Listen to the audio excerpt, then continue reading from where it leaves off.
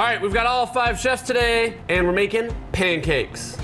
We had to agree before we got started here, because Nick wanted to make some crazy thing, Kyle wanted to make some other wildly different thing. We had to agree on what pancake is, and this is what we agreed on. It's a battery thing poured into a pan-ish thing, and you flip it. Them's is the rules.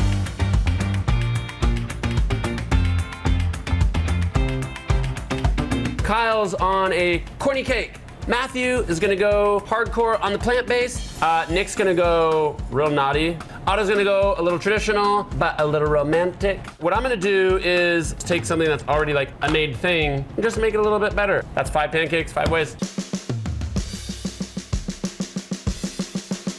So when I was a kid, my mom used to wake up really early in the morning and make us some crepes. The recipe is very simple. Similar ingredients to what you find in a normal pancake. However, the ratios are different because the batter needs to be thinner. So to start, I'm gonna sift the flour. Sifting is very important because then it'll help you get all the lumps out. Then I'm gonna add sugar, just a pinch of salt, and then I'm just gonna give it a stir. Next, I'm gonna add the milk. Don't be afraid to use brown butter. It's sweeter, nuttier. And now we're gonna add four eggs. Do not overmix. This is very important. As the flour hydrates, all the lumps will go away. In the interest of time, I do have one that I made earlier. The lumps, you can kind of see it's actually the butter that has solidified a little bit in it. All the uh, lumps from the flour are gone. Now I'm just gonna take some of my extra brown butter and then just brush a pan that's been sitting on medium-high heat. I'm gonna add about two ladles. At the same time, I'm gonna be swirling around so I can cover the bottom. So I want this to be really thin. I'm gonna take a spatula and just start moving just the edge. Cook this until it's just slightly brown on the bottom. Ooh. I hope you got that one because that was perfect. right, so how are we gonna finish this? Very simple. Spoonful of dulce de leche. Spread it from top to bottom. Literally just going to fold one side and fold the others. And then I'm gonna turn it over so it's fold side down. Then I'm gonna sprinkle some sugar in the middle. Now the next step, not everybody has one of these at home, right? And this is what my mom used to do. Turn the gas stove on, put your fork on it, and make sure it's really hot. And then just caramelize the sugar. I know it's simple, but it's so nostalgic. takes me back so much when I was a little kid. This for me is opening my lunchbox and just finding this in, amazing.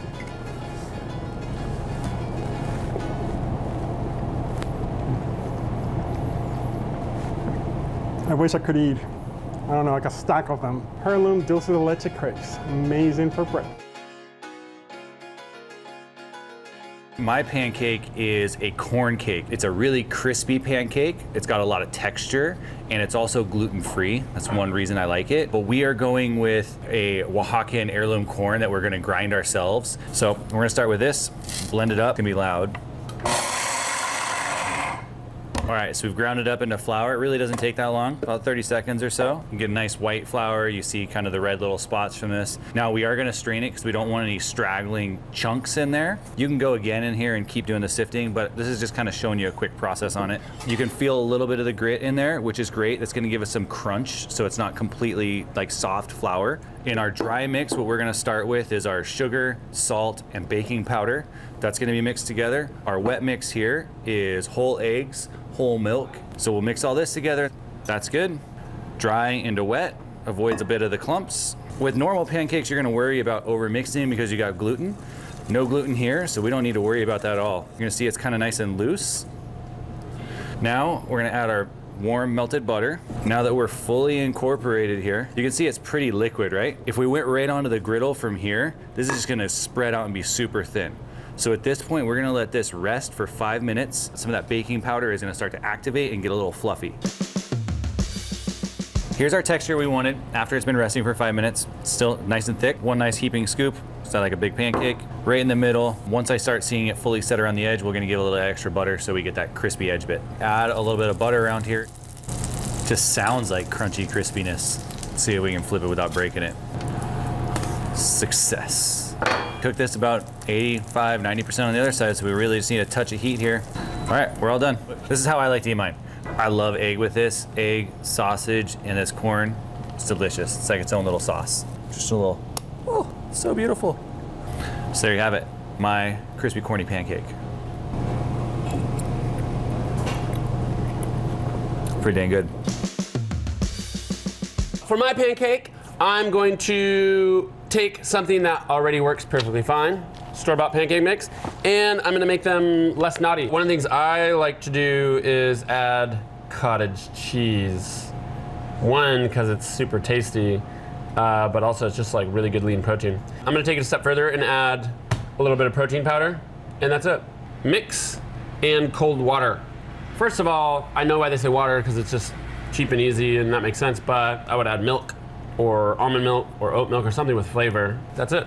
Super simple. But the one thing I am gonna do is mix my liquid stuff and protein first, because the more I'm mixing the pancake batter, the chewier the mix is gonna get. Is there like a version of dairy-free cottage cheese out there? Matthew! Matthew, I got a question for you, bro.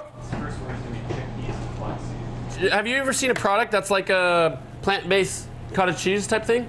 Ooh, that's, Like you know, yeah. Yeah, I don't think so. Cream cheese, yeah. Yeah. But cottage Not cheese, like the, with that texture and uh-huh. little curds and ricotta, yes, but not. Yeah. you can put it in anything. Want to eat chocolate chip cookies? Throw some protein powder in there. And because the scientists did their homework, I just have to add this until it looks thick enough. I think I added too much.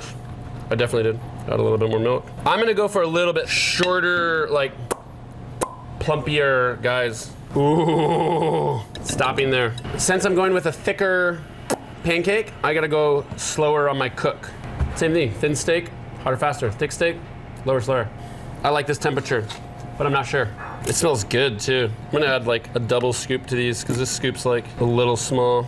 So if you're gonna make a bunch of pancakes for people, you make a little batch, use it, a little batch, use it, because there's a short half-life on the batter. If you want a fluffy pancake. Yum. These are done. That's it. Da da da da da do do do do. Pancakes, pancakes, pancakes. Look at those little cheese curds in there. Got all that protein. It's yummy. Mm. Lean on the scientists who made the mix. Lean on the other scientists who made this mix. Put all the mixes together. Today we're gonna make a vegan griddle cake with pumpkin pie spice. This recipe is a, an homage to plants, so no eggs, no dairy, no animal products.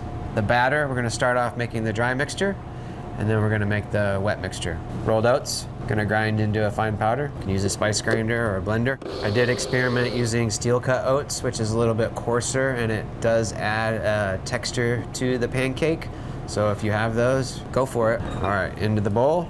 Flax meal ground up there. So we got the almond meal or almond flour, baking powder, salt, pumpkin pie spice. Go ahead and give those a little mix. Time for the wet mixture. Soy milk, and then maple syrup and vanilla extract. I already have the vanilla extract in pre-measured into the maple syrup. Make sure you get all that stuff in there. Dry mixture, wet mixture. We're gonna marry the two together. And then we're gonna finish with the coconut oil. You don't even have to add the coconut oil for a little bit more flavorful pancake. All right, that's it. We're gonna get to cooking. I'm gonna cook them most of the way through on one side. Otherwise, you won't be able to flip these since the structure is a little loose.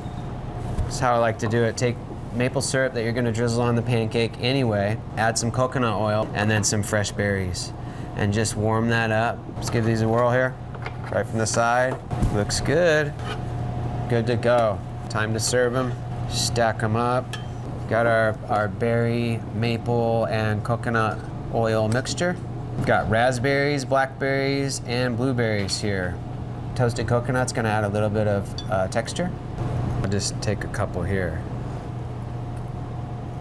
A plant-based, gluten-free pancake that has the soft texture like this one is hard to come by. I mean, that's a good pancake. What am I bringing to you today? Molten lava chocolate pancakes. It's gonna be rich, decadent, sweet, a little bit of bitter. Let's get started. We're gonna start with AP flour because that's what you all have at home. Cocoa powder, pinch of salt. The salt is key because these are lightly bitter. So we're gonna add baking powder, a little baking soda, whisk this up. We're not gonna sieve it, you don't need to. Nobody wakes up in the morning and like, I wanna spend the first three hours making pancakes. No, you gotta make them fast. All right, most of the wet. So two eggs. One little tip too you can do with pretty much any pancake is separate the yolks and the whites set the whites aside, mix your base, and then whip up your whites to stiff peaks and fold those in if you want those super fluffy pancakes. I'm gonna add some vegetable oil. You can use butter, sugar, granulated or organic. Could even sub in brown sugar if you want. And we're gonna add buttermilk now. Buttermilk is acidic and that's gonna help activate the baking soda. So I like to add the wet to the dry. Found with this recipe, you can dump it all in. We're going for ease here. Look at that, you can already see the leavening agents kicking in. Look at all those bubbles. This probably has a shelf life of maybe 15, 20 minutes at top, so you wanna make this when you're ready to use it. Um, you can tell this is really thick. And these are not gonna be pretty looking, but they're gonna be the best tasting. I'm gonna go for how many pieces of chocolate? I'm gonna go for six. So we're gonna pack these boys here. We're gonna add like a three quarter scoop, push it around, cover up that chocolate. So we're actually gonna cover it. This is gonna generate steam in there and it's gonna help speed up the cooking process. So three minutes on the first side, flip, three more minutes, and then we're gonna decorate it.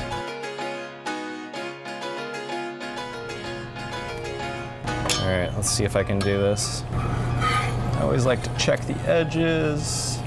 Oh, almost went off. We're okay. We're okay. Good, good, good, good.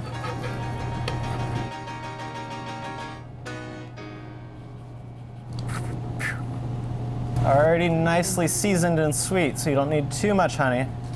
A Little lava salt. I like the salt in the butter. Salty, sweet, fatty, rich, decadent.